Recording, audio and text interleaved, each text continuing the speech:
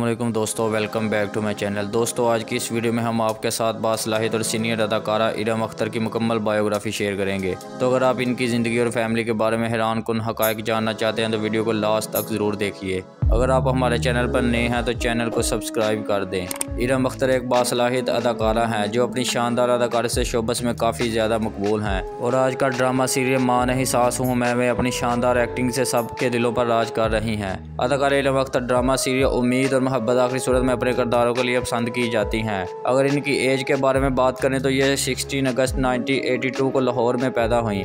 इस वक्त इनकी उम्र 41 ईयर्स है। और ये अपनी फैमिली के साथ इस वक्त कराची में रहाइश पजीर हैं। अगर इनके एजुकेशन के बारे में बात की जाए तो इन्होंने लाहौर, गुलबर्ग कॉलेज से बैचलर की डिग्री हासिल की। तलीम मुकम्मल करने के बाद इन्होंने शोबस इंडस्ट्री में कदम रखा।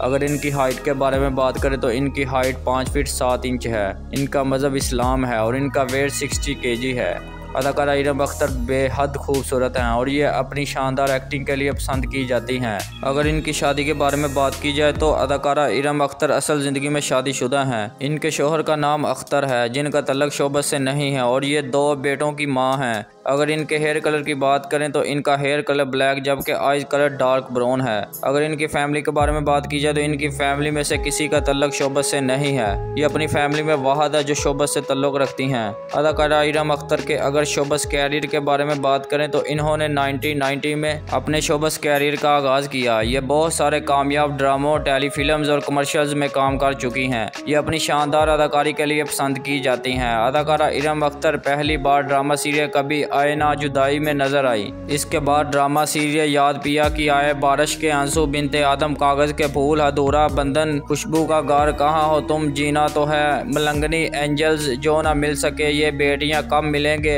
एक लफज मोहब्बत, नकाब, क्या चाह, क्या पाया? ज़मीन पे चाँद, परदेश मेरे मोहसन, उम्मीद, सियानी, एहसास, जूम। सिर्फ़ तुम और माँ नहीं, सास जैसे कामयाब ड्रामों में शानदार अदाकारी के जौहर दिखा चुकी हैं। ये चंद एक टेलीफिल्म्स में भी शानदार अदाकारी के जौहर दिखा चुकी हैं और कुछ वेब सीरीज़ में भी परफॉर्म करती हुई नज़र आ चुकी हैं। अदाकारा इरम अख्तर अपनी शानदार एक्टिंग के बायस बेस्ट टीवी एक्ट्रेस के अवार्ड के लिए भी नॉमिनेट हो चुकी हैं। इस वक्त यह ड्रामा सीरियल माँ नहीं, सास में परफॉर्म करती हुई नज़र आ रही हैं।